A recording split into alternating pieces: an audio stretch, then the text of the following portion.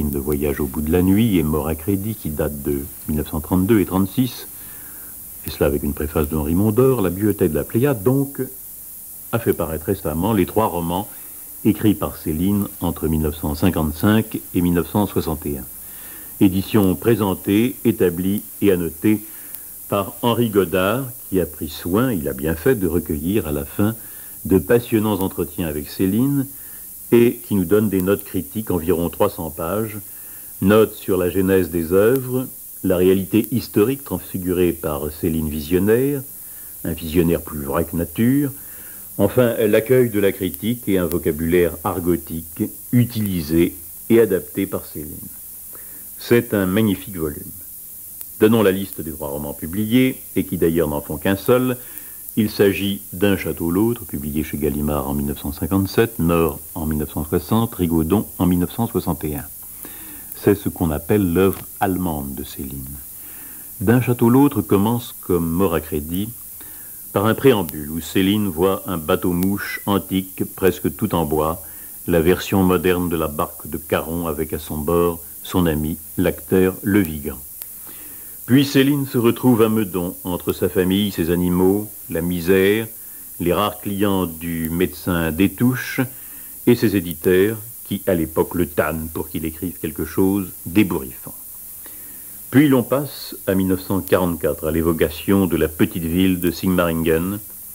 Céline s'est réfugiée, prenant le wagon de la collaboration, il est parti en Allemagne, chargé de malles remplis d'objets hétéroclites avec son chat bébert dans une musette en bandoulière. Dans les poches, il a aussi un peu d'or et du cyanure, car il ne veut pas être pris vivant.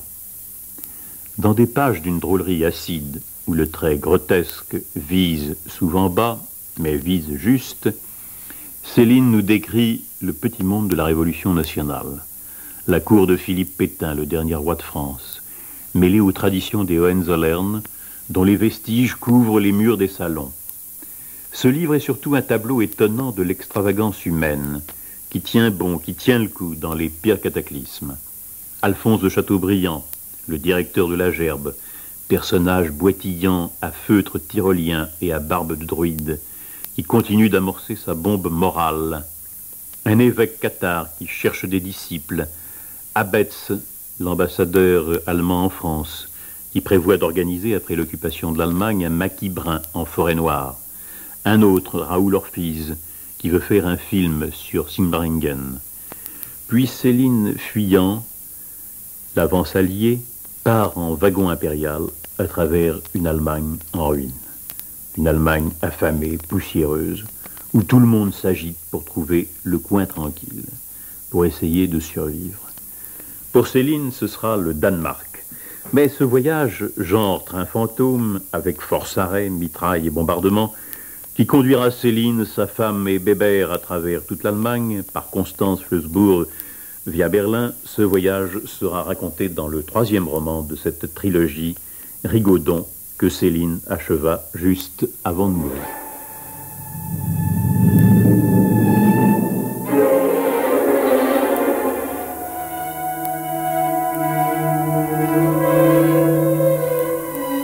Cette édition représente un, un gros travail. Enfin, il y a une documentation, un appareil critique extrêmement scrupuleux, extrêmement riche. Euh, ça représente euh, beaucoup de temps, beaucoup de...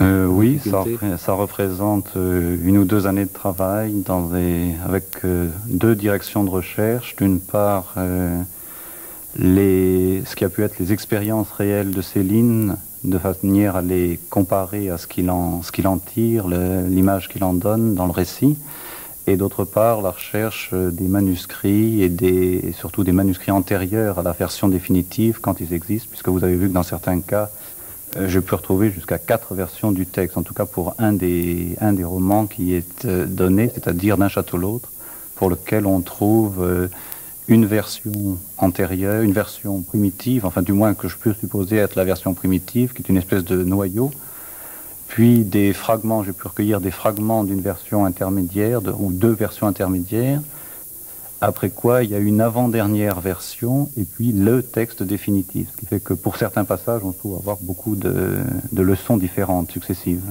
Peut-on dire que la réunion de ces trois romans, pratiquement les sous de l'un à l'autre et euh, qui finissent par former une seule œuvre. Et comme Oui. peut-être dans l'esprit de Céline, d'ailleurs, il, il formait un tout aussi. Oui, je crois que c'est le- c'est l'effet principal de cette réunion. C'est pour ça que c'était souhaitable de faire ces trois romans avant d'autres, parce que ils ont été publiés dans des conditions qui sont difficiles, qui étaient difficiles. Enfin, d'un château l'autre a été publié normalement, a eu un gros succès.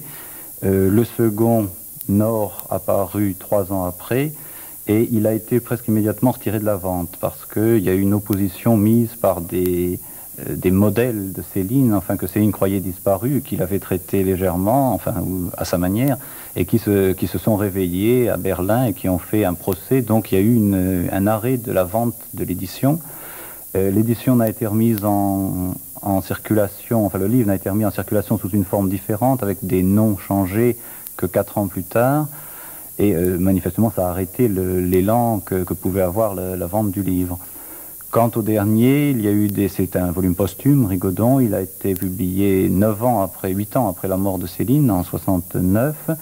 Euh, il y avait eu des difficultés de déchiffrement du manuscrit, etc., de sorte que la continuité disparaissait. Enfin, pour beaucoup de lecteurs, au moment où ils ont reçu les livres, ils ont fait cette lecture, la continuité disparaissait. Je pense que un des intérêts de cette réunion est au contraire de le redonner, ce que j'ai appelé la, trilogie allemande, de, leur redonner leur unité, qui est profonde d'ailleurs, parce que Céline, euh, dans le cours du texte, se réfère à d'autres volumes, au, au volume antérieur par exemple, sans jamais mentionner qu'il s'agit de volumes antérieurs. Pour lui, manifestement, ces trois romans étaient destinés à, à créer un seul ensemble.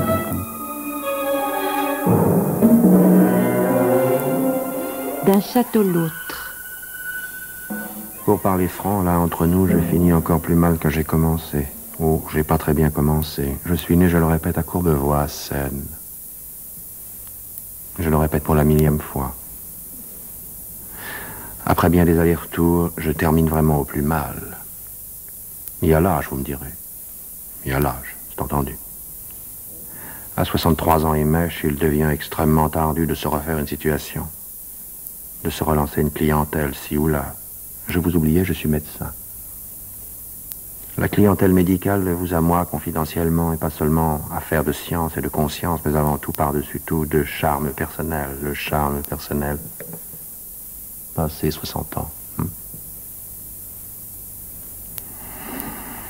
Vous pouvez faire encore mannequin, potiche au musée, peut-être. Intéresser quelques maniaques, chercheurs d'énigmes, mais les dames, hein. Le barbon tiré, quatre épingles, parfumé, peinturé, laqué, épouvantail. Clientèle, pas clientèle, médecine, pas médecine, il écœurera. C'est tout cousu d'or. Encore Toléré. Mais le chenu pauvre, à la niche. Écoutez un peu les clientes au gré des trottoirs et des boutiques. Il est question d'un jeune confrère. Oh, vous savez, madame, madame, quels yeux, quels yeux, ce docteur. Il a tout de suite compris mon cas. Il m'a donné de ses gouttes à prendre midi et soir. Quelles gouttes Ce jeune docteur est merveilleux. Mais attendez un peu pour vous qu'on parle de vous. Grincheux, édenté, ignorant, crachoteux, bossu, votre compte est réglé, le babil des dames est souverain, les hommes torchent les lois, les dames s'occupent que du sérieux, l'opinion. Une clientèle médicale est faite par les dames.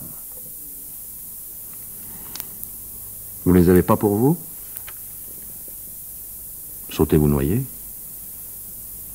Vos dames sont débiles, mentales, idiotes à bramer D'autant mieux.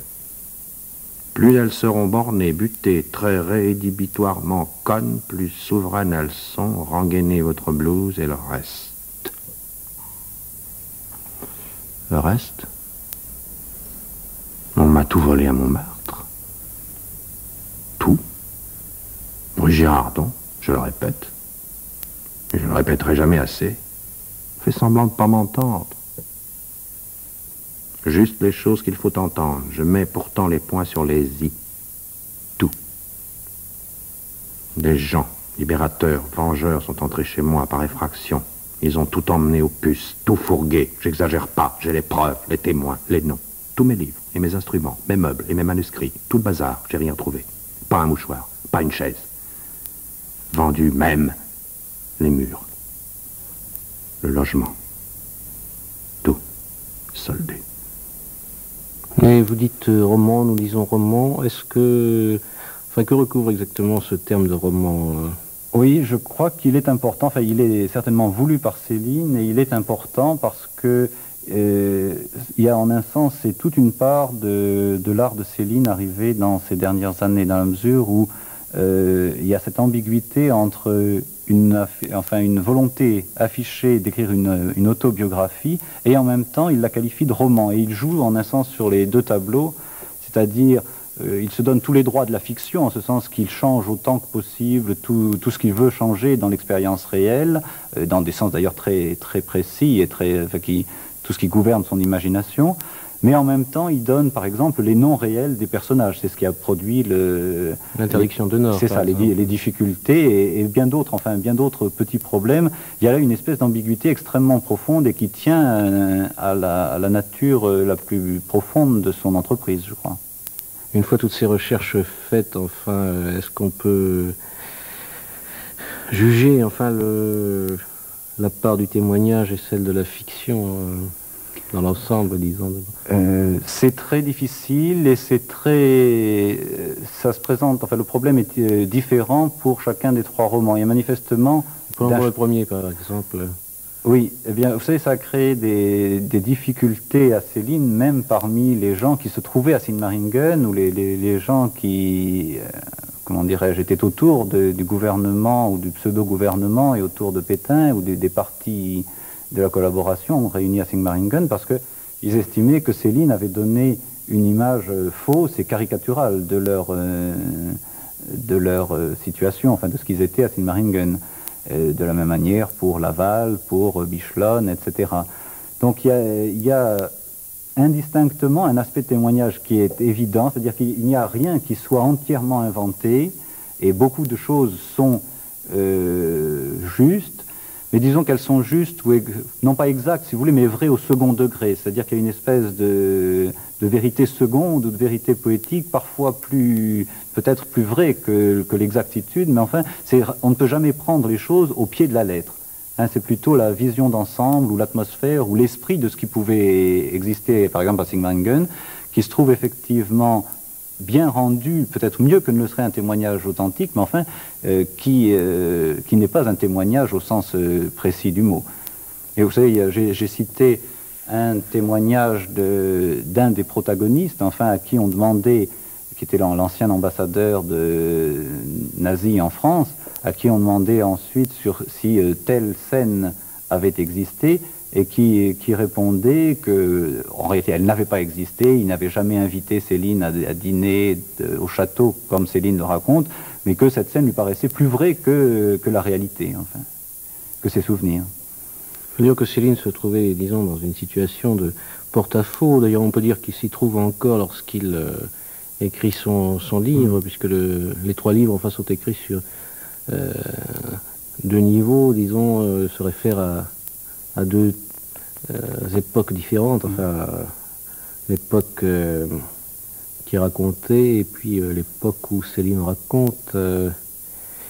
les ennuis de Céline, disons, à la Libération prennent une, grande place. Et, mais on peut dire qu'il a eu autant d'ennuis, sinon plus, en Allemagne.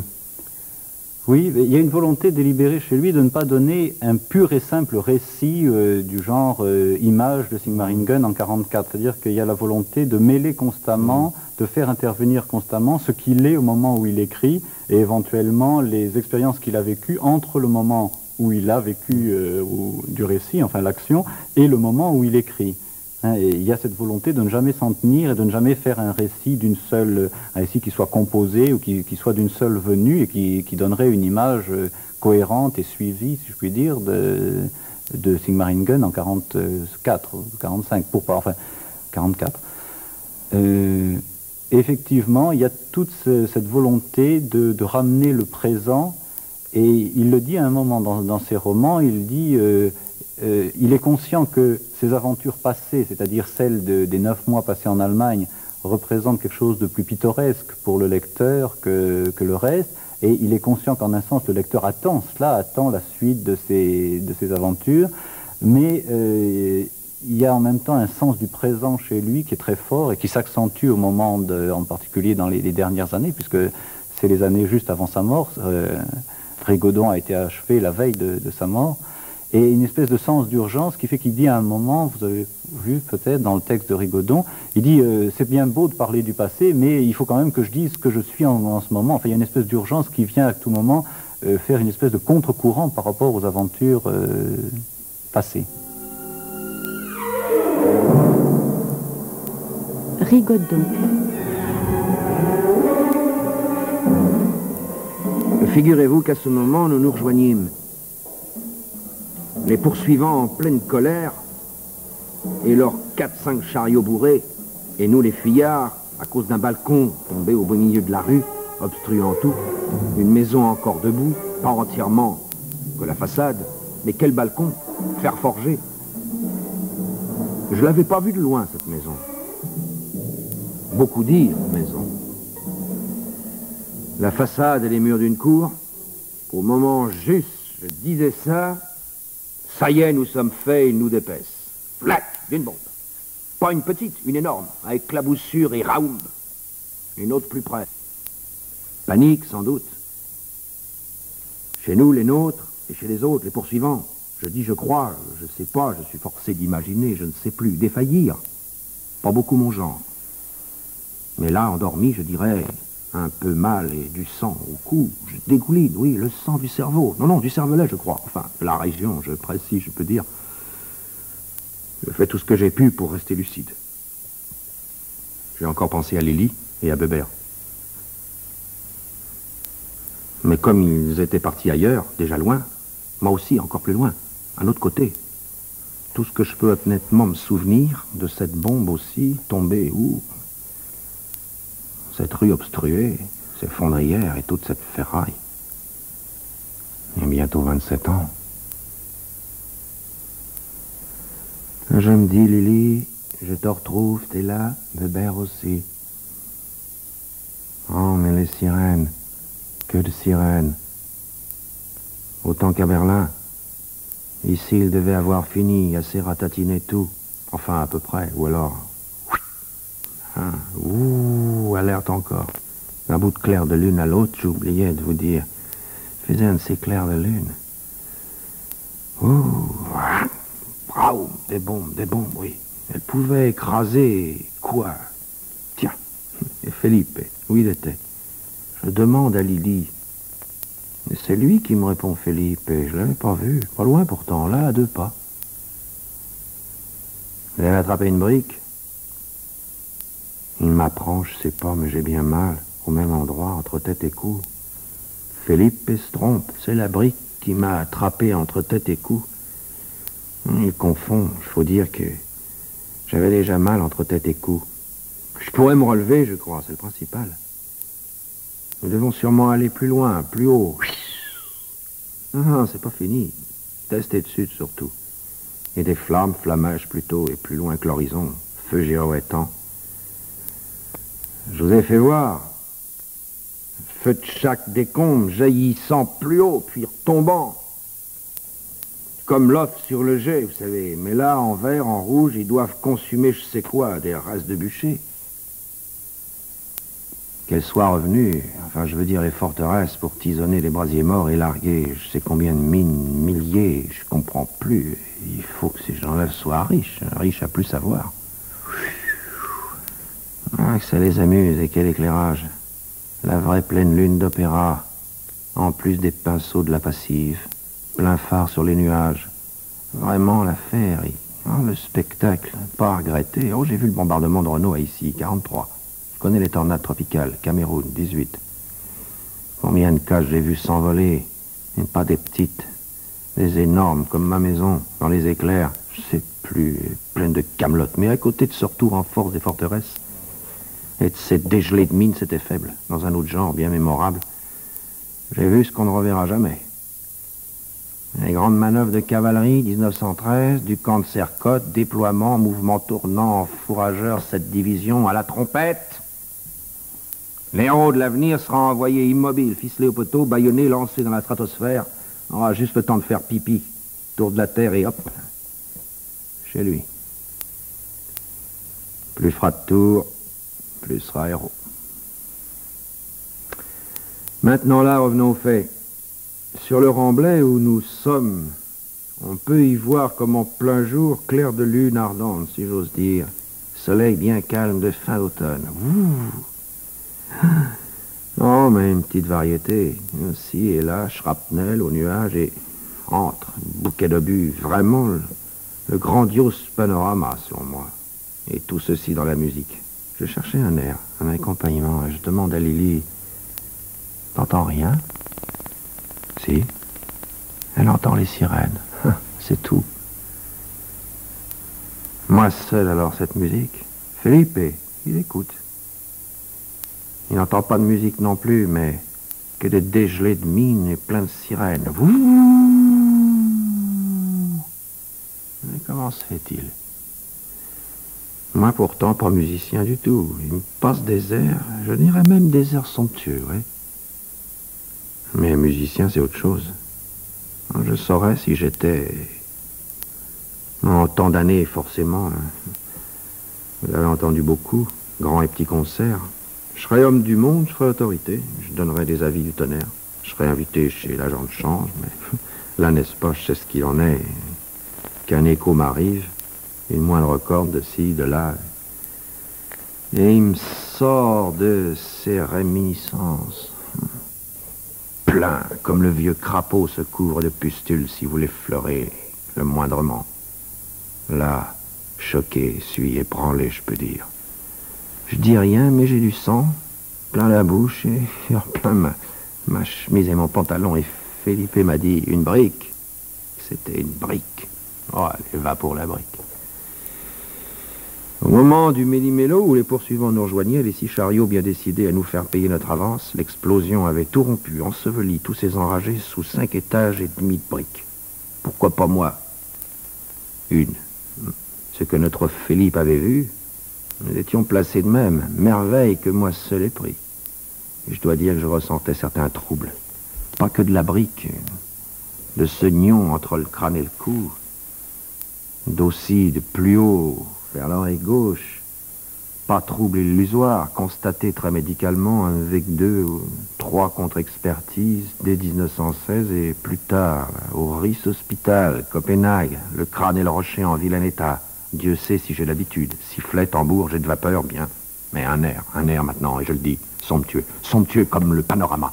Un air, je dirais, symphonique, pour que cet océan de ruines, ruines, folichonne, houle de flamèches, roses vertes et petits bouquets crépitants, les âmes des maisons, loin, très loin, dansantes. Préviens Lily. Bouge pas, je l'ai. Mais je bouge pas, voyons. Mais toi, t'as mal.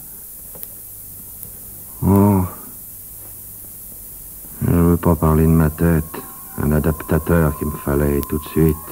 Je n'avais que des réminiscences et par bribes, grotesques, pas d'air grandiose sans contrepoint.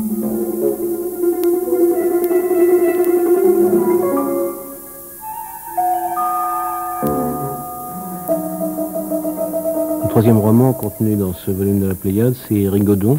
Le récit se situe chronologiquement euh, entre les deux premiers livres. Euh, oui, c'est même plus compliqué que cela. Il se présente comme un seul voyage circulaire tout autour de l'Allemagne, puisqu'on part de Rostock, c'est-à-dire de toute l'Allemagne du Nord, de, ce port sur la Baltique.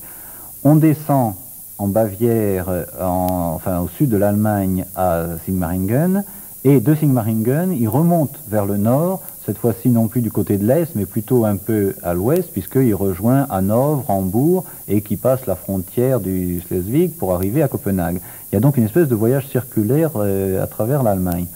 En réalité, euh, ça représente, et là encore c'est une des ruptures avec la chronologie, ça représente une euh, distorsion par rapport à son expérience, parce que la première, moitié de ce voyage, celle qui est du nord au sud, elle se situe, comme vous le disiez, euh, entre les expériences de Nord, disons, et les expériences d'un château l'autre, puisqu'il apprend au début qu'il y a un résidu ou un embryon de, gouvernement français à euh, Sigmaringen et il décide d'y aller. Mais la seconde moitié du roman, c'est-à-dire le voyage sud-nord, lui se situe après Sigmaringen, puisque c'est après les quatre mois en mars 45, c'est-à-dire après les quatre mois passés à Sigmaringen, qu'il obtient le permis pour de nouveau tenter sa chance pour passer vers le Danemark, et, à ce moment-là, il essaye par Hambourg. Euh, il arrive à donner une unité à une espèce de cercle fait en chemin de fer dans ces trains apocalyptiques euh, à travers l'Allemagne, mais cette unité représente la mise bout à bout, au point de vue chronologique, de deux segments différents de son expérience. Céline n'est pas seule dans son voyage, il y a sa femme, il y a le, chat, il y a le Vigan, euh, qui s'appelle la Vigue dans le, oui, euh, il y, a, manifestement pour lui euh, une espèce de besoin de, ne pas être seul, d'être accompagné, d'avoir des compagnons dans, le voyage. Alors, il y en a deux qui sont constants, qui sont d'une part euh, sa femme Lily et d'autre part son chat Bébert. Et puis, il y a un quatrième personnage, un quatrième compagnon, qui est pendant euh, jusqu'à peu près à la moitié de Rigaudon qui est euh, la Vigue, et puis qui ensuite change, puisque c'est cet Italien rencontré qu'il nomme Felipe. Mais il y a là quelque chose de très nécessaire pour Céline que d'avoir euh, des compagnons de voyage, en fait, que le voyage se fasse en groupe.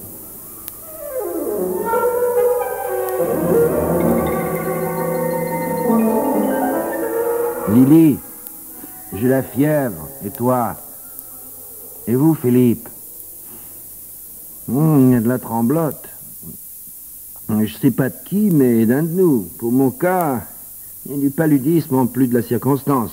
Plus tard, un peu plus tard, j'approfondirai l'aspect clinique, mais, bon, cette plateforme bouge, oui. je me disais, nous étions partis sans du tout nous être aperçus. Démarrer bel et bien nous Lyon, hein, le paysage charmant, enfin un peu flou, je dirais poétique. Les autres trimballés derrière nous, les autres plateformes doivent trembler aussi. Je les aperçois comme ci, comme ça, entre les bâches et les projecteurs. Ils semblent, comme nous, recroquevillés et pas fiers. Ils sont un peu plus vêtus que nous, enfin je crois. Mais sûr, il en reste sous les bâches. C'est pas tout du matériel. Il y a des planqués de la ferraille, des resquilleurs de je ne sais où. Les gens qui veulent pas être vus nous sommes là à brinque-baller sur ces plateformes avec plein de personnes invisibles. Coexistence dit maintenant en abandon, coexistant. Que nous roulions, l'essentiel, même avec ces dissimulés, nous arriverons à Hambourg, à moins que ce train saute. Ce qu'on ne voit pas, qui compte dans la vie, ce qui se voit s'entend n'est que mascarade, coup de gueule, théâtre, ce qui se passe au fond de votre prostate qui est intéressant. Ce millionième de gamètes qui décide qu'il y en a assez, qui n'obéit plus aux ordres, qui va travailler pour son compte, foutre des marquises et du petit ami. Il va proliférer et hop, vite pour lui. Lui-même. Vous à la fosse. Hop. Voilà. Vous le verrez jamais, ce millionième d'anarchiste gamète crasseux, cancéreux. Vous sauriez même pas qu'il a existé. Eh, et là, si je prolifère, je vous perds de vue. Là À créer, battre la campagne, je vous ai prévenu, certes. Ma tête, ma tête fait aussi les siennes. Oh, que je refuse.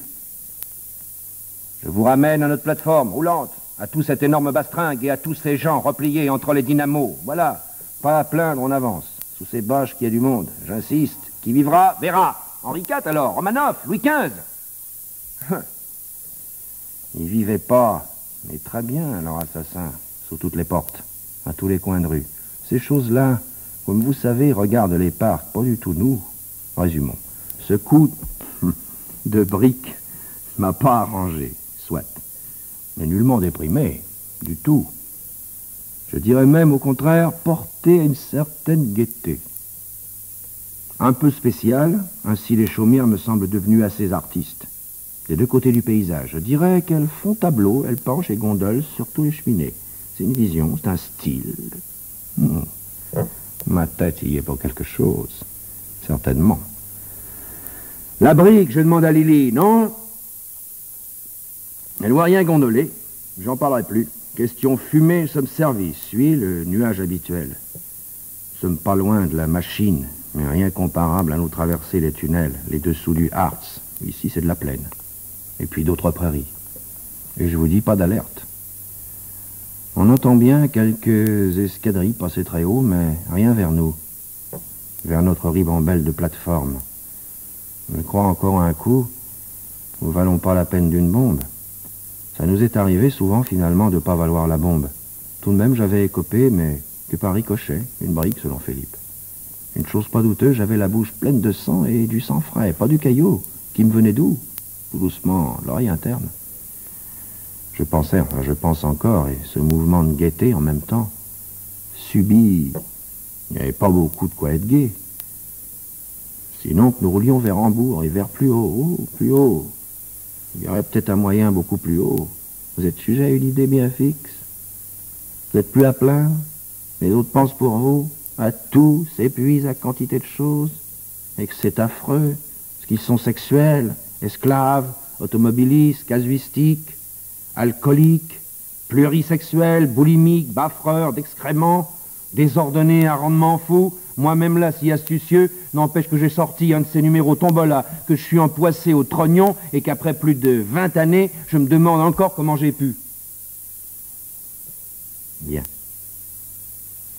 Vous en avez assez de m'entendre. Hmm. Vous voudriez que j'aboutisse hmm? Certes, je vous comprends. Mes histoires de briques et d'oreilles vous excèdent, et eh ben j'abrège. Hmm. Ce train des plateformes avançait, sans incident. Le ballast devait être réparé, un petit cas à peine, peut-être. Mais il faisait trop frais pour dormir. Seul inconvénient de ces plateformes, il y avait à regarder le paysage comme ça, une heure, deux heures. Toujours le même. Des fermes sous chaume, dans les prés, beaucoup de brume. Ah, je dois dire, euh, personnel, cette chemise qui me colle au dos, je suis sûr, je saignerai encore. Hmm. Et aussi dans un pantalon, veuille ou non, froid ou pas, j'ai dû m'endormir. Preuve. Je croyais pas voir ce que je voyais quand j'ai ouvert les yeux là. Grand, notre train était arrêté. Il y avait devant nous une sorte de montagne de ferraille, et peut-être 100 mètres en plein champ. Et tout en haut, une locomotive à l'envers. Mmh, perché. Et pas une petite, je vous dis. Hein en l'air, à l'envers, les, les douze roues. Je les compte. Et je les recompte. Ça devait être une explosion, je dirais, volcanique. Il avait envoyé à Dash perché tel quel sur le dos, soufflé au sommet. Hmm. Pas sur ma tête, mes impressions, puisque je voyais tout drôle. Alors je demande à Lily, à Philippe, euh, oui, exact, il voit aussi. Cette locomotive ventre en l'air, oui. Ça aurait pu nous arriver, évidemment, pas une fois, cent fois. Nous et notre façon de, zigzaguer à travers l'Allemagne. Tout de même, cette loco là-haut, si haut et à l'envers, comme Saint Thomas, je crois ce que je vois. Voyez Thomas, touché, Puisque ce train, toutes ces plateformes et Saint-Frusquin étaient à l'arrêt, ça risquait rien d'aller se rendre compte. Je veux dire de ce phénomène, ce monde ferraille et la loco, tout à la crête, je propose à Lily et à Philippe, c'était pas très audacieux, il y en avait d'autres dans cette plaine, descendus comme nous des plateformes pour aller se rendre compte de visu des familles de toutes les langues, en loc aussi, mais tout de même plus recouverts que nous, en rayon. Mais les épaisseurs, nous, c'est le contre-coup de l'explosion qui nous avait éprouvé, on peut dire, presque arraché tout. Ah, et tout de même du mystère avec cette loco perchée en haut de la ferraille, comme ça avait pu se produire. Une éruption dans cette prairie. Une bombe n'aurait pas suffi à projeter. Et à l'envers, un monstre pareil.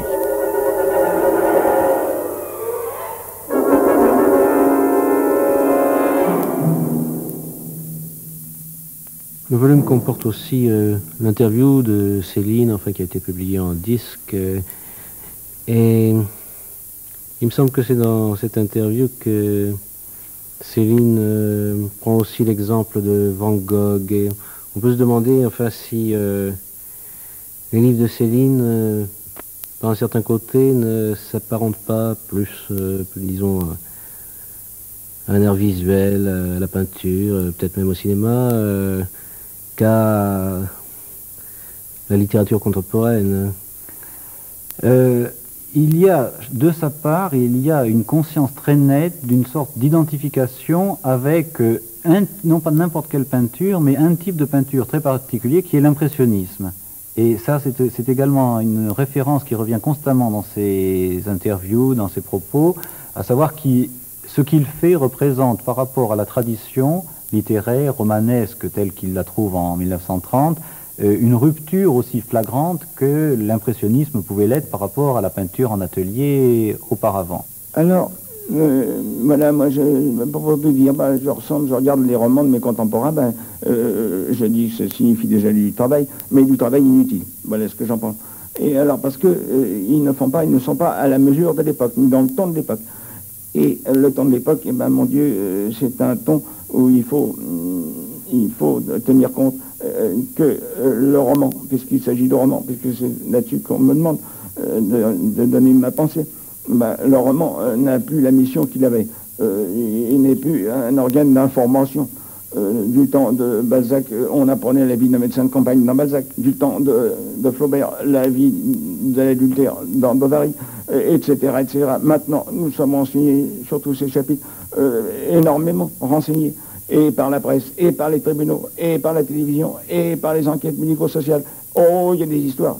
Il y en a, il y en a, il y en a, il y en a, avec des documents, des photographies. Oh, oh mais il n'y a plus besoin de tout ça. je crois que le, rôle documentaire et, même psychologique euh, du roman est terminé. Voilà mon impression. Euh, c'est une impression. Et alors, euh, qu'est-ce qu'il lui reste? Ben, Il lui reste pas grand-chose. Et il lui reste le style, et puis les circonstances où le bonhomme se trouve. Euh, Proust, évidemment, se trouvait dans le monde. Bah, il raconte le monde, n'est-ce pas? Euh, Ce qu'il y voit. Puis, enfin, les petits drames de la pédérastie. Bon, très bien, bon. Euh, mais enfin, quand il s'agit de se placer dans, dans, la ligne où vous place la vie, et puis de ne pas en sortir de façon à recueillir tout ce qu'il y a, et puis de transposer en style. Alors, question du style. Bon. Alors, le style, ben, le style, je le trouve, je trouve le style de tous ces trucs-là sont dans le même ton que le bachot dans le même ton que le journal habituel, dans le même ton que les plaidoiries, dans le même ton que les libérations à la Chambre. C'est-à-dire c'est un style euh, verbal, euh, éloquent peut-être, mais en tout cas certainement pas euh, émotif. Or, je les regarde comme les impressionnistes devaient regarder les peintres de leur époque, qui leur rendaient bien.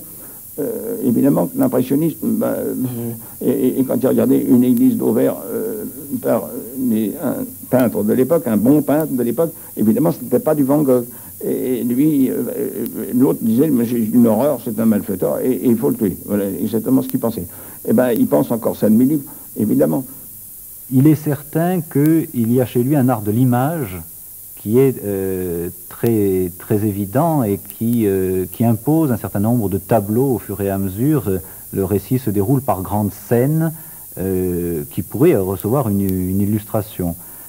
Quant au cinéma, vous savez sans doute qu'il y a eu plusieurs projets dont il, quand il a été question dans la, presse de mise au cinéma, enfin de transposition au cinéma de plusieurs romans de Céline. Il y en a encore euh, actuellement en chantier. Mais il semble que ce soit quelque chose d'extrêmement difficile quand même de passer de cette prose à, la transposition visuelle que représenterait le cinéma. Il existe même un début de transposition par Céline lui-même du voyage au bout de la nuit, où il, essaye de trouver ce que pourrait être, euh, ce qui pourrait donner dans le langage du cinéma euh, l'impression équivalente à ce qu'est le, début du voyage au bout de la nuit écrit. lui-même désirait beaucoup ces transpositions cinématographiques. le fait est que jusqu'à présent, elles n'ont pas encore pu être menées à bien. Personne ne s'est senti ni du côté adaptateur ni du côté metteur en scène, euh, pour l'instant encore, personne n'a entrepris de faire cette transposition.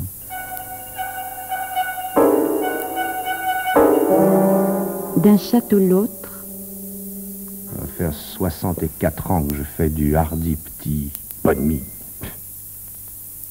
Pourtant, c'est encore le moment. La poubelle, et hardi petit, de chez moi à la route, c'est bien 200 mètres. Je dois dire en descente. Je la porte à la nuit, qu'on me voit pas. Je la laisse à la route. On me les fauche. C'est bien dix poubelles qu'on me barbote. Non, il n'y a pas que les épurations. C'est tout le temps la fauche, surtout et partout. En plus, je me fais un tort énorme de porter moi-même les ordures. La preuve, on m'appelle plus docteur seulement. Monsieur. Bientôt, ils m'appelleront vieille cloche. Il m'attend un médecin sans bonne, sans femme de ménage, sans auto, et qui porte lui-même ses ordures, et qui écrit des livres en plus. Hein et qui a été en prison. Vous pouvez un peu réfléchir. Hein en attendant, réfléchissant, si vous m'achetiez un livre ou deux, vous m'aideriez. Hum, n'en parlons plus. Mais le fait qui me pousse à la haine, hors de moi, précisément sur cette route, les autos, elles n'arrêtent pas. Là, vous pouvez voir la folie, la trompe vers Versailles. Oh cette charge des autos, semaine, dimanche, comme si l'essence était pour rien, auto à la une, trois, six personnes, coiffrées, pensures, rien à foutre, 320 morts le dimanche, 318 le dimanche la veille, on s'en fout, parbleu. Rien à foutre, mais où qui vont tous? Où qui vont tous? Pâtés, baffrés, pire Parbleu, plus, plus, déjeuner d'affaires, ouais, ouais, ouais, voyou, euh, voyage d'affaires, affaires, affaires, rote d'affaires, ra, ra, ouh, que c'est pitié, moi qu'on a volé trois poubelles. Il y a des milliardaires en colère que leur moteur éclate pas. Mes clabousses et mes poubelles. Hein Mes poubelles Tout rotant de canards on avait, plutocrate, poujade, communiste. Rotant, pétant, plein autoroute, l'union des canards au navet, 130 à l'heure. Plus pétant, rotant pour la paix du monde que tous les gens qui vont à pied. Canard historique, relais historique, menu historique. Vous sortez de table. La façon tellement enivrante. Château trempette 1900, pas. C'est pur miracle, pichenette, que vous défonciez pas le remblai. L'érable, le peuplier avec, et votre direction, et le volant, vlant, 2000 peupliers, autopunitif en diable, que diable, frein puant, frein flambant, tout l'autoroute et le tunnel, joyeux dris, ivre, doublant, triplant, s'engouffrant, le délire, la ferveur, que c'est, ouah trompette 1900.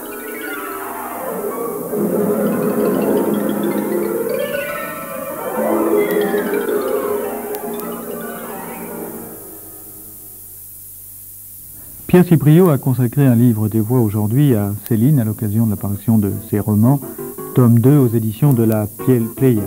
La réalisation était de Jean-Pierre Collars qui s'est entretenu avec euh, Henri Godard. Les textes étaient lus par Jean-Pierre Joris et vous avez reconnu euh, parfois la, la voix de Louis-Ferdinand Céline. Chef opérateur du son Bernard Galli, collaboratrice technique Jacqueline Duchamp, assistant de production Pierre Baudin. Vous retrouverez demain Céline à un livre des voix aux éditions Gallimard dans la bibliothèque de la Pléiade. Cette édition est remarquablement présentée, comme je vous le disais hier, par Henri Godard. Dans le deuxième roman de cette trilogie, puisqu'il y a trois romans dans ce livre, dans le deuxième roman, donc, Nord, nous retrouvons Céline avec sa femme, Lily, et son chat Bébert et son ami Le Vigan, dit La Vigue. Nous la retrouvons avant leur installation à Sigmaringen au Breckner Hotel de Baden-Baden. Nous côtoyons toute une humanité jusque-là préservée par la guerre et qui essaie dans cet hôtel de vivre encore en vase clos, de tenir encore un peu son standing et ses illusions, et cela pendant que l'armée von Rundstedt essaie de refaire en décembre 1944 la stratégie qui a si bien réussi à Guderian en 1940, c'est-à-dire la percée des Ardennes. Il y a là, à Baden-Baden, de hauts fonctionnaires nazis, des maîtres de forge, des PDG de la Roure, des collaborateurs en exil, tout ce beau monde entouré de déserteurs, de prisonniers, de réfugiés de l'Est, de maraudeurs, de prostituées de Berlin. À Baden-Baden, les Céline rencontrent une amie, Madame Van Stook, si accueillante qu'elle leur fait croire qu'ils vivent un peu de temps à Koblenz, à la cour des princes exilés pendant la Révolution française. Survient l'attentat contre Hitler, et pendant quelques jours, l'histoire hésite. Tout le monde fête l'événement, la mort du criminel de guerre, en participant à une séance érotico-mystique. Le lendemain, on déchante. C'est le départ pour Berlin sur ordre de la chancellerie du Reich. Suit une étonnante description de Berlin en ruine. Berlin où le professeur Obolt accueille Céline et l'installe à 100 km au nord-ouest de la capitale. C'est Kranzlin, un vaste domaine où vivent en se surveillant les uns les autres et dans la terreur, des Hobros, des Polonais, des Russes déportés, des prisonniers, des objecteurs de conscience, des gendarmes, des SS. Les journées se passent à chercher ce qu'on pourra bien manger le soir. Puis, après un passage de Romanichel, qui donne un spectacle, trois personnages importants sont assassinés. Arrive un général médecin qui glose sur la campagne d'Hitler en Russie et délivre finalement un laissez-passer à Céline pour Rostock, sur la côte baltique. Nord est un roman étonnant, fourmillant d'individus, de portraits cocasses, de conversations parfaitement délirantes dans le contexte où elle se place, et de pamphlets céliniens sur la situation de l'écrivain en 1957, 1957 quand Céline écrit ce roman, et qu'il a repris pied dans la vie littéraire française avec d'un château l'autre, qui a fait le même bruit dans le Landerneau littéraire que Voyage au bout de la nuit en 1932.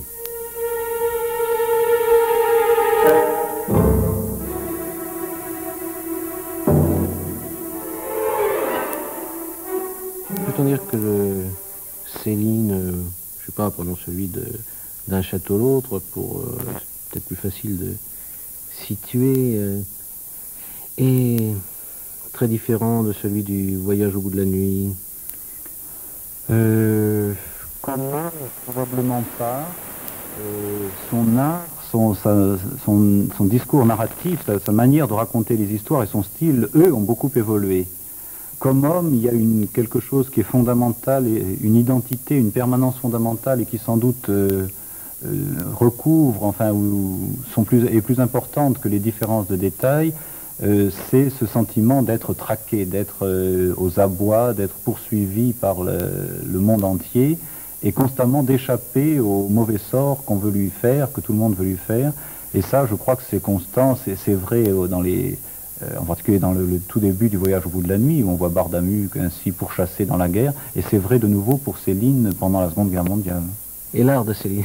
À l'art de Céline. Alors oui, là c'est quelque chose de très différent. C'est quelque chose qui euh, évolue beaucoup et d'une manière très cohérente. J'espère que c'est quelque chose qui, apparaîtra de plus en plus, euh, à la fois sur le plan de la technique du récit et sur le plan du style.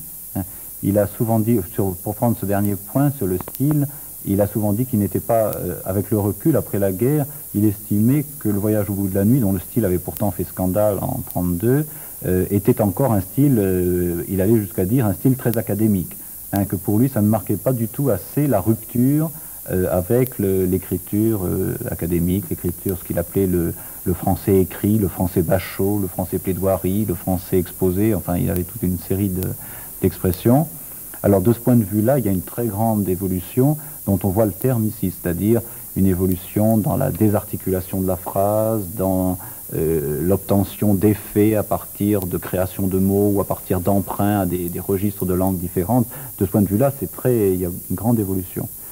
Et il y a évolution aussi dans, le, euh, dans la technique romanesque, enfin dans la présentation, dans la mesure où euh, Bardamu, est en, euh, enfin le voyage au bout de la nuit, est encore une sorte de roman traditionnel. C'est un roman à la première personne, mais enfin c'est un roman traditionnel avec un héros, Bardamu, euh, distinct de l'auteur, etc.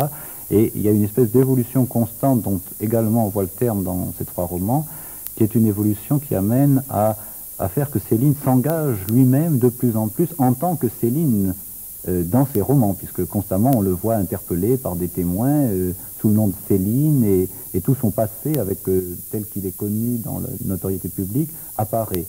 Il y a donc une espèce de, volonté de, de ne pas laisser le récit se dérouler tout seul, mais en même temps d'y greffer le, le narrateur.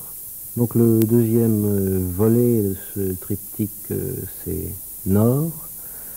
Est-ce qu'on pourrait un petit peu situer enfin l'action de Nord par rapport à celle d'un château l'autre et par rapport à celle de Rigaudon Oui, eh bien, il faut, il faut commencer par rétablir l'ordre chronologique, hein, puisque en réalité, euh, d'un château l'autre, enfin le séjour de, de Céline à Sigmaringen se situe après le, le, séjour dans le Brandebourg, à Berlin et dans le Brandebourg, dont il est question dans Nord. Donc il y a une espèce de rétablissement chronologique à faire. Alors Nord représente euh, les aventures, enfin la transposition des aventures, de ce qu'a vécu, d'expérience de Céline entre euh, le moment où il est entré en Allemagne et le moment où il euh, va aller à Sigmaringen. Hein. C'est-à-dire, ça représente son séjour à Baden-Baden, dans cet hôtel avant et pendant le, coup d'État, enfin la tentative de, de, coup contre Hitler du 20 juillet.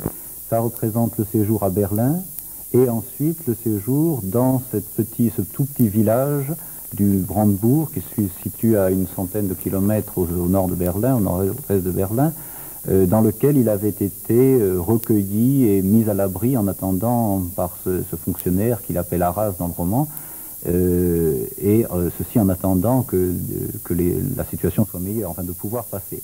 Étant entendu que ce qu'il voulait à ce moment-là, c'était se rapprocher le plus possible de la frontière danoise, puisqu'il avait euh, placé de l'argent au Danemark, pensant que ça resterait un pays euh, neutre ou un pays vivable, et euh, son désir était d'arriver à franchir la frontière au Danemark. Nord, Céline et ses compagnons d'infortune, sa femme Lily, l'acteur Le Vigan, le chat Bébert, sont envoyés à 100 km de la capitale, à Zornov, dans une immense propriété régie par un fou. À l'est, la plaine s'étend jusqu'à l'Oral. Et autour des quatre Français, car Bébert compte bien pour un Français, vit une famille shakespearienne dans un pays habité par des Polonais, des prostituées berlinoises et des objecteurs de conscience, tous gras et robustes, auxquels le Reich fait fabriquer des cercueils. Céline se veut chroniqueur mais il décrit l'Allemagne de la débâcle comme Dante visitait les cercles de son enfer. Donc, pendant toute la fin de Nord, il essaye de rejoindre le port de la mer Baltique qui, avant la guerre avait une liaison avec la côte danoise, c'est-à-dire le port de Rostock. Et Nord se termine au moment où euh, on lui offre, on lui donne enfin un permis lui permettant de rejoindre euh, Rostock. Est-ce qu'il existe vraiment un village qui s'appelle euh, Zornhof euh, il, existe il existe réellement un village, il ne s'appelle pas Zornhof, parce que euh, ça fait partie des noms qui ont été modifiés après le procès. Hein, il y a eu un procès intenté par les tribunaux, devant les tribunaux allemands par celle qui, dans le, le roman, est maintenant appelée Isis von Leyden, et qui a fait valoir que euh, on pouvait très aisément reconnaître dans la première version, dans le premier texte, étant donné que son nom était à peine modifié, il y avait juste une lettre de différence euh, dans son nom, et qu'on pouvait facilement l'identifier aussi à cause du nom du village, qui était en réalité un tout petit hameau, donc on, pouvait facilement, elle était facilement identifiable. Et euh, étant donné qu'elle a obtenu gain de cause devant le tribunal allemand, on a modifié, on a été amené à modifier son nom à elle, naturellement, quelques noms propres qui également risquait de faire naître les mêmes difficultés, et les noms locaux qui étaient identifiables. C'est-à-dire que les deux noms actuels de Zornhof et de Morbourg sont deux noms inventés, Ce sont deux noms qui sont mis à la place des noms authentiques quant au personnage, enfin, il y a quand même certainement une invention. Enfin, ce personnage du Rittmeister, euh, euh, paraît assez incroyable. Oui, il y, a une, il y, a une, invention extrêmement considérable, une transposition qui va toujours dans, en un sens euh, dans la même direction, c'est-à-dire que euh, Céline donne pour réel ce que, enfin, comme pour arriver, ce qu'il pense pouvoir arriver, c'est-à-dire qu'à partir d'une impression que lui fait un personnage, euh, il en tire une image du personnage qui est une espèce de, euh, de réalisation de ce qui était à l'état de virtualité ou d'impression. Et bien sûr, dans le, détail, la dame en question, qui habitait Berlin au moment du procès, n'a pas eu de difficulté à montrer que euh, jamais son beau-père n'avait fait ceci, n'avait fait cela, euh, a pu apporter des témoignages. Enfin, mais il, reste que euh, il s'agit, disons, d'une manière de pousser à bout des choses qui existaient dans la réalité à l'état latent. C'est à peu près dans ce sens-là que, font les choses. C'est Jean-Pierre Joris qui dit les textes de Céline. Euh, il y a un travail toujours un peu qui n'est pas perceptible euh, quand on écoute une émission de radio et qui se fait en studio, de même que d'ailleurs Céline parle du travail de l'écrivain qui n'est pas euh, perceptible pour ce passager, ce voyageur qui est le lecteur. Et euh, ce travail a été à certains moments presque difficile. Enfin, il y a eu des conflits entre euh, la voix de l'acteur et euh, ce texte qui pourtant a une allure parlée, enfin qui est issu, semble-t-il, du langage parlé. Oui, elle, a une allure parlée. C'est un peu comme ce que nous disions tout à l'heure de la vérité des événements historiques, c'est-à-dire qu'elle a une allure parlée au second degré. Hein, elle n'est pas du tout une langue parlée, elle est tout autre, cho- autre chose qu'une langue parlée, mais elle vise à donner l'effet d'une d'une langue parlée. Et euh, Céline a très souvent employé diverses comparaisons. En particulier, il en avait une à laquelle il revient très fréquemment sur ce point-là, c'est celle du bâton qu'on plonge dans l'eau. Euh, vous savez, dans les Écritures, il est écrit euh, au commencement était le verbe. Non, au commencement était l'émotion. Alors, euh, le verbe est venu ensuite pour remplacer l'émotion. Euh, euh, comme le, le, trot remplace le galop, n'est-ce pas? Alors que l'animal naturel du cheval est le galop, et pas le trot. On il faut avoir le trot. Ben, on, on a fait à l'homme, on l'a sorti de la poésie émotive pour entrer dans la dialectique, c'est-à-dire le bafouillage, n'est-ce pas La dialectique. Euh, ou les idées. Mais les idées, euh, rien n'est plus vulgaire. Les encyclopédies sont pleines d'idées. Il y en a 40 pages, et 40 volumes énormes, n'est-ce pas Remplis d'idées, très bonnes d'ailleurs, excellentes, qui ont fait leur temps. Mais euh, ce n'est pas la question, ce n'est pas mon domaine. Les idées, les messages, je ne suis pas un homme à message, je ne suis pas un homme à idées. Je suis un homme à, style. Alors le style, ben, tout le monde s'arrête devant, n'est-ce pas Personne n'y vient, ce. C'est un boulot très dur, n'est-ce pas il consiste à prendre les phrases, je vous disais, en les sortant de l'organ. Ou, si une autre image, je cherche de savoir, euh, si vous prenez un, bâton et vous le faire paraître droit dans l'eau, vous allez le courber d'abord. Parce que euh, euh, la réfraction fait que si vous mettez ma canne dans l'eau, elle a l'air d'être cassée, Il faut la casser avant de la plonger dans l'eau. Alors c'est un boulot, n'est-ce pas? C'est un vrai travail, c'est le vrai travail du styliste. L'idée étant que euh, il veut arriver précisément à donner l'impression du langage parlé, et plus exactement, il a ici, il a encore, il a des images. euh, par exemple, il, dit qu'il voudrait que le lecteur ait l'impression qu'on lui parle à lui personnellement, qu'on lui d'une espèce de, discours qui s'adresse à lui très intimement. Enfin, précisément, son travail, c'est- d'arriver à, faire ce- cette brisure ou cette cassure préalable. La lecture à haute voix, alors, il y a là-dessus des témoignages un peu divergents de sa part. D'une part, euh, il lui est arrivé de dire que ce texte n'était pas fait pour être lu à haute voix. Et il y a une, lettre à Roger Nimier dans laquelle il dit euh, Si vous commencez à lire mes textes à haute voix, euh, autant prendre du bossuet. Et d'autre part, il y, a des témoignages nombreux et convergents qui, qui montrent que lui-même prenait plaisir à lire ces textes à haute voix. Et d'ailleurs, dans son travail, son travail avec, il avait une secrétaire à laquelle il lisait les textes à haute voix et qui, se rappelle, elle, ce- ces lectures comme de, grands moments. Et manifestement, euh, le, stade de la lecture à haute voix devant quelqu'un qui lui renvoyait l'écho n'était pas du tout un stade euh, indifférent pour lui. Enfin, il avait besoin de cela pour que son texte prenne la consistance qu'il voulait lui pouvoir prendre.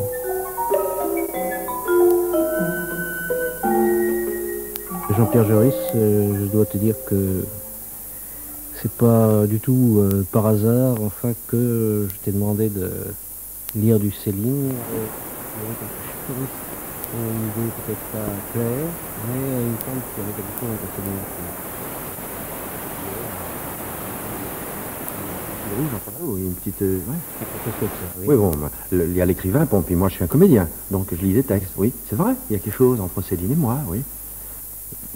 J'ai pas beaucoup lu dans ma vie, mais euh, ce que j'appelle lire, c'est euh, avoir lu l'œuvre d'un homme et de la relire. Euh, il suffit comme ça d'avoir deux, trois œuvres dans sa vie, je crois que ça suffit. Alors, j'ai lu Céline, oui, c'est vrai. Mais je m'en suis pas vanté. Parce qu'il y a une époque où lire Céline, c'était mal vu. Je me souviens, à, à l'école, j'avais Céline. Il y avait des livres de Céline. Il paraît qu'il était, il était collaborateur, Céline. Enfin, on dit qu'il était Oui, il y a un, contexte politique, mais enfin, euh, disons qu'il commence à être lointain, quoi. Oui, il fallait planquer son Céline, si on avait un Céline. Moi, je faisais pas de politique, j'étais un, un- gosse qui, qui allait à l'école, quoi. Euh, Avec les Céline, euh, on pouvait pas voir grand-chose. J'ai eu Camus plus tard. En tout cas, ce qui m'a semblé, puisque été enregistré avant que nous parlions, c'est qu'il y avait un rapport passionnel entre euh, la manière d'écrire de Céline et euh, tes, tes besoins d'acteur euh, et presque un conflit, enfin, une espèce de, de tension qui naissait en toi du contact avec ce texte. Oui, voilà. Oui, c'est vrai. Pourquoi? Parce que, bon, euh, je suis pas le seul. Il y a un conflit entre aujourd'hui entre une, une certaine- certains hommes et la société. Je veux dire des hommes de qualité d'ailleurs, entre la société d'aujourd'hui et un groupe d'hommes. Euh, je crois que c'était vrai pour Céline aussi. Euh, ce que j'aime dans Céline, c'est la qualité de son mépris.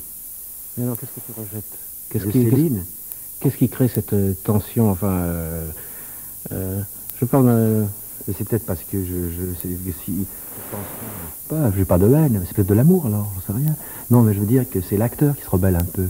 J'ai eu du mal à faire entrer en moi cette espèce de, de passion terrible qui est dans, qui c'est dur, cette passion terrible qui est, qui est sous le texte, qui c'est- dur à.